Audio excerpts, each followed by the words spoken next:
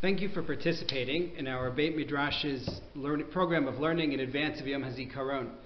Working in tandem with several communal organizations, including B'nai Akiva Schools, B'nai Akiva, NCSY, JLIC, and Mizrachi Canada, we expect to publish a brief video on a chapter of Tehillim each day for 10 days through Yom HaZikaron on Monday, May 1st. Each video will be dedicated in memory of a particular person whose life is commemorated on Yom HaZikaron. To sign up to receive links to each day's video via email, please go to the link in the description below. Today's video is dedicated in memory of Rabbi Nechemia Lavi, Nechemia ben Yechezkel, Zichrono Levracha. From the IDF Memorial website, we are told Rabbi Nechemia, an IDF reservist, was a husband, a father, and a teacher at a Jerusalem yeshiva.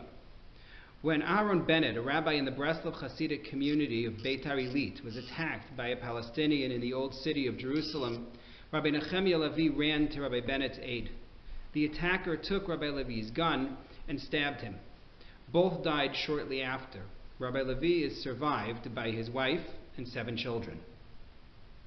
Today's video is about Tehillim Lamed Tes, chapter 39, in which the suffering author first tries to keep silent and not complain despite pain, before giving in and crying out to God, seeking explanation for his suffering, and ultimately seeking divine aid.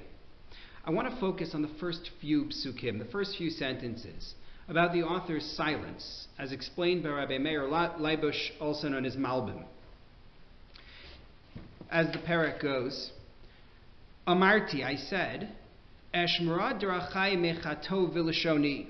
I'm going to guard my path such that I won't sin with my tongue. Eshmara lefi machsom ba'od. I will keep a muzzle on my mouth as long as the wicked person is opposite me. I'm not going to give the Rasha, the wicked person, room to argue about faith, and so I will keep silent, both my tongue, my internal thoughts, and my lips my external expression. Ne'elamti dumiyah, I was mute. Hechshesi mitov, I was even silent from saying anything good. I didn't even mention the good, lest it lead me to complain. I didn't want to get into theodicy. I didn't want to get into philosophy, even to argue on behalf of God, lest I stumble in my faith. I wanted to be silent, as Aharon was after the loss of his children by Yidom Aharon. Hechshesi mitov, I was silent even from the good. Uchevi ne'ekar. But the result of this was that my pain grew. My silence didn't work. Cham libi bekirbi. My heart was hot in my midst. Bahagigisi v'aresh. So that when I spoke, fire burst forth. Dibarti bilashoni, and so I needed to speak. The change of heart that we find here in this chapter, in which he begins wanting to be mute, but the silence doesn't work, is reminiscent of a pasuk in Mishlei, the 12th chapter of Mishlei of Proverbs. De'agab belev ish yashchena, v'davar tov yisamachena. When worry is in a person's heart, it drags the heart down, but a good thought will gladden it. That's the simple explanation of the sentence as brought in Rabbi David Altshuler's Metzudat David commentary. But the Talmud offers two other ways to read the first half of the sentence. Da'agabalev ish yashchena, that if there is worry in one's heart, it drags the heart down. The Talmud offers two approaches. One is a recommendation. Da'agabalev ish, if a person is worrying, he should remove it from his mind. Yeshchena mida'ata, we should take it away from his mind. And then it offers a second approach.